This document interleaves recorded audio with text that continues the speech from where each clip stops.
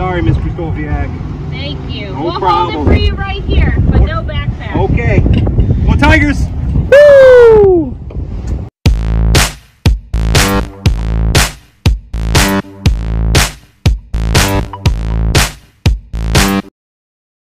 Let's go, Tigers! Wait. You're good.